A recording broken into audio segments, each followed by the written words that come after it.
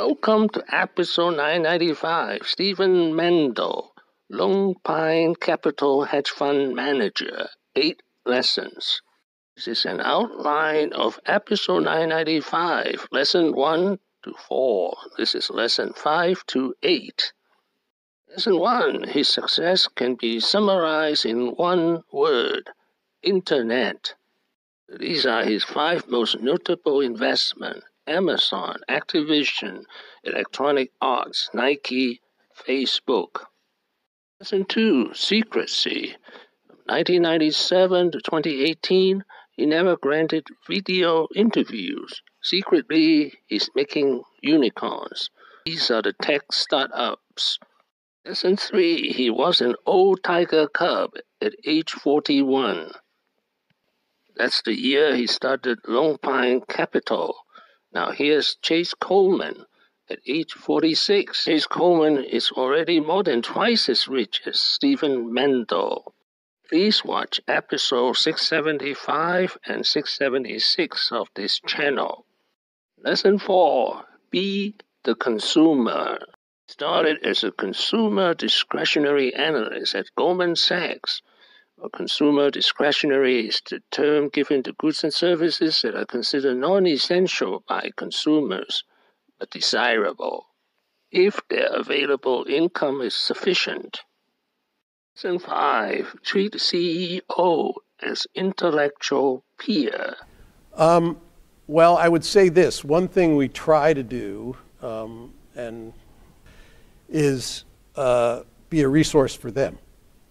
So if they think that uh, we know a bunch about emerging competitors, or we know, uh, you know, a bunch about, you know, somebody they might consider hiring. Um, uh, if they view us sort of as a Yeah. intellectual peer, in Yeah. effect, um, that's really really helpful. Yeah. Lesson 6 Take advantage of innovation of emerging technology. And this is one of the most exciting things about being in the business that we're in. Um, the level of innovation and the level of progress uh, coming largely from new technology um, is just like we've never seen really in the history of the world. And um, so the areas that we find uh, the most interesting there, and there's a lot of things going on, but um, I would say digital payments is one area. So, you know, for a long time, the cash and check has been moving to various forms of digital payments, but this is accelerating rapidly and is moving.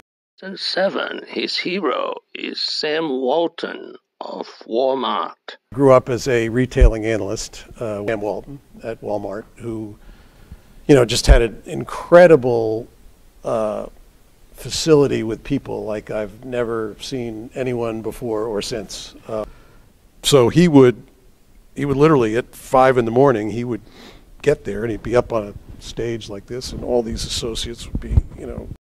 8 is a people's business.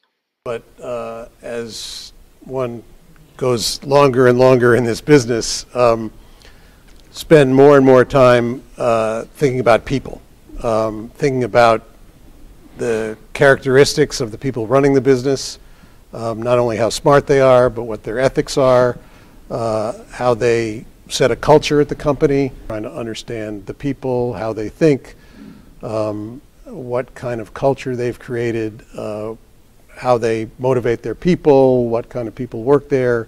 Um, it's just become more and more over time um, spending on people.